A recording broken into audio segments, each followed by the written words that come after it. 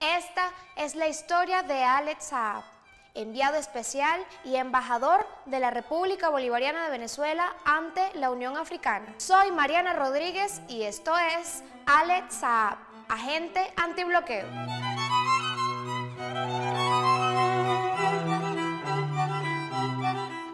Saab comienza su vida empresarial en Venezuela en el año 2000 exportando ropa de moda. El barranquillero visualiza en Venezuela la posibilidad de desarrollar sus empresas, aportar mercancías de alta calidad y tecnificación para el pueblo venezolano.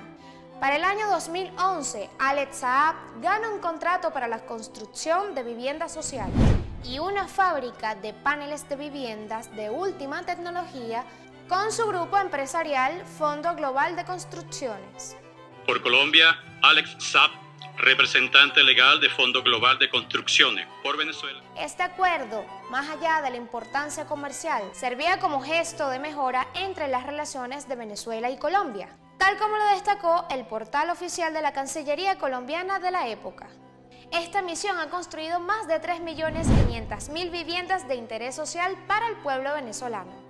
Las labores de Alex Saab en materia de construcción en Venezuela se desarrollaron en campos tan diversos como importantes para el desarrollo social del país. En el 2013, los sectores populares se beneficiarían con los gimnasios verticales para atender a su juventud. En el primer trimestre del mismo año, en La Guaira, se iniciaría la construcción del Estadio Forum para el equipo de béisbol local.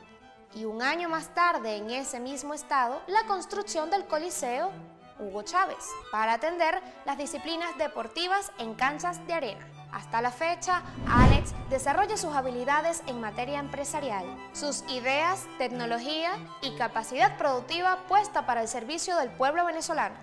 Años más tarde, la historia sacudiría la vida del barranquillero, como solo la historia sacude la vida de los grandes hombres. La revolución bolivariana ve en Alex Saab cualidades y destrezas para la lucha por la patria.